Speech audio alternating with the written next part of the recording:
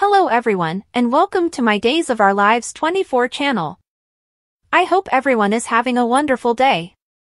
Before we begin, please hit the subscribe button and give this video a thumbs up. In addition, I just wanted to let you know that after this month, I will not be contacting you for child support. I realize that you were avoided with regard to your granddad's will, Kristen said. Kristen was informed by Brady that he would keep making the payments. Furthermore, I'll keep on tolerating the appearance scraps that you're willing to give me. Since I know that at some point or another you will mess up, similar to you generally do. Furthermore, I will recover full authority of my little girl, Brady said. When Alex entered, he made a big show of how pleased he was to see Kristen. Brady requested that Kristen inform Rachel that he would be waiting in the car as Kristen and Alex passionately kissed in front of him. Brady strolled to the entryway and shook his head at seeing the darlings, then he left. Alex exclaimed, damn, you are looking sexy. With a snicker, Kristen recommended that Alex ought to turn into an entertainer. That wasn't acting, Kristen, Alex said. Alex informed Kristen that he had advised Teresa that he would get supplies to praise his huge legacy. Then, at that point, it occurred to me that the best champagne is without a doubt in the DiMera wine basement.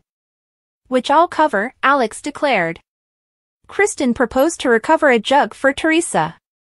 With a grin, Alex pulled Kristen close and told her that he liked to commend his legacy with her. Alex's return home was awaited by Teresa at her apartment. Why in the world is he taking so long? Teresa said. Teresa messaged Alex. As Teresa twirled ice 3D shapes around the flutes, Brady thumped on the front entryway. Brady apologized for the unannounced come around. I was driving by, and I was simply trusting that you may be distant from everyone else and at home, Brady made sense of. Teresa noticed that Alex would be home soon.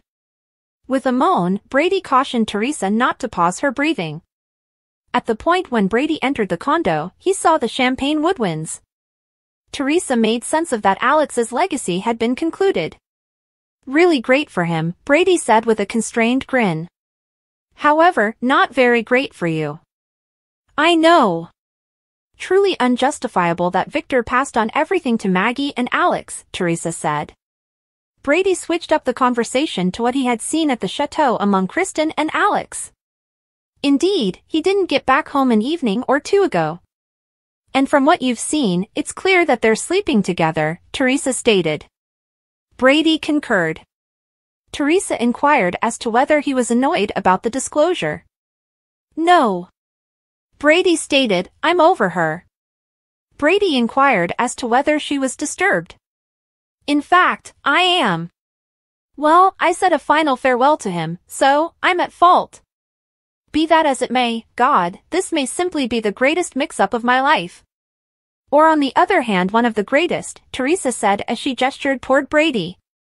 Brady inquired as to whether she was infatuated with Alex, and she conceded she didn't have the foggiest idea. Brady said that when one was enamored, they felt like they couldn't live without the other individual. Then, of course, I am. I'm enamored with Alex. Kind of, in any case, Teresa said particularly in light of the fact that he's beneficiary of this enormous fortune now, Brady added. Teresa squinted her eyes at Brady, and he was sorry. There was a thump at the entryway. I surmise, Alex, failed to remember his key, Teresa murmured. Constantine drove past Teresa into the loft, and he halted abruptly when he saw Brady. Constantine constrained a wide grin. What are you doing here? Teresa inquired. Constantine lied and said he really wanted assistance with a wedding present. Who's getting hitched? Brady inquired.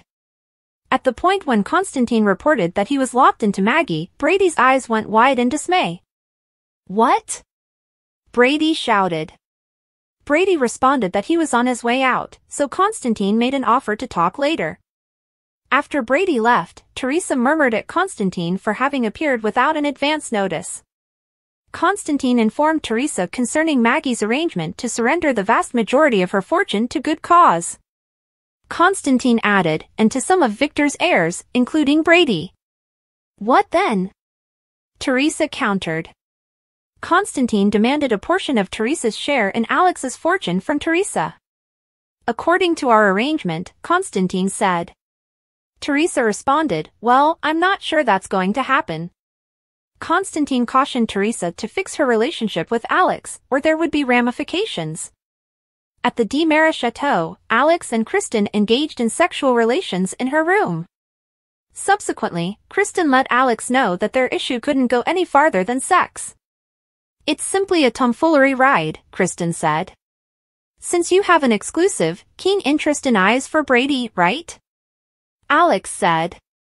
With a laugh, Kristen noticed that Brady was the dad of her kid and her first love. What's more, you and Teresa? You exclusively desire her? Kristen inquired. Alex conceded he thought often about Teresa, however it didn't keep him from having intercourse with Kristen.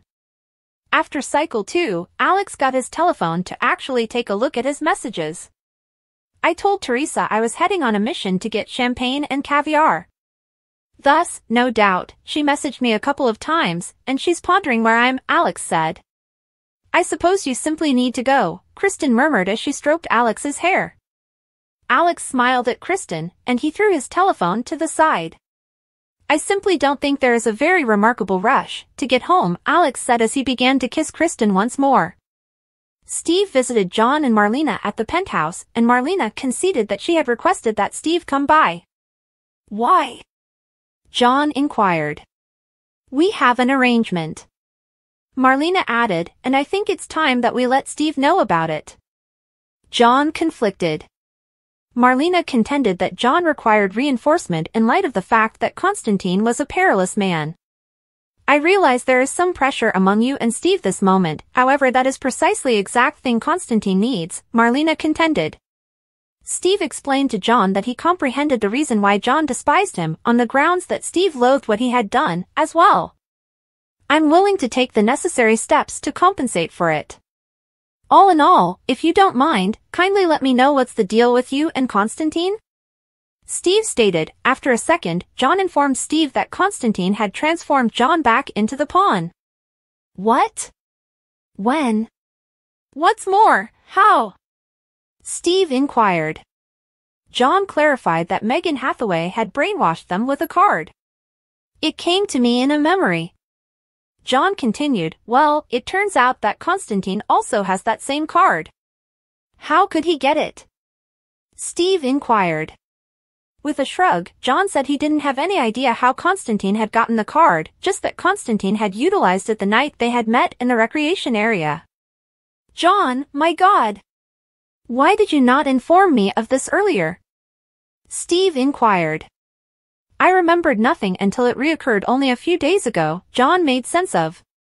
John enlightened Steve regarding Constantine's visit to Dark Fix and how Marlena had intruded on Constantine's guidelines. That is when Doc and I sort of sorted out what was happening, John said. Marlena made sense of that when she had gotten some information about his discussion with Constantine, John had been not able to recollect. I realized that he had lost time, Marlena said.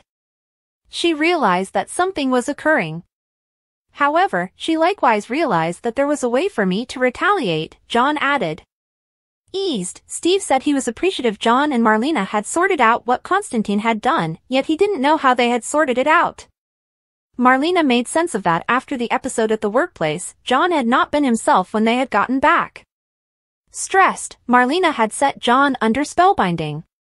Perhaps in light of the fact that it worked out so as of late, the hypnotism was viable, and I had the option to take John back into the room with Constantine from before I came in, Marlena made sense of. John had recalled Constantine's instructions to steal Maggie's prenup and his red card. Marlena said that they had done whatever it may take to keep Constantine from acquiring impact over John once more. We didn't know it was even conceivable right away, John admitted. Marlena said she had worked with her partners at Bayview to utilize the equivalent deprogramming strategies that they had utilized on Harris.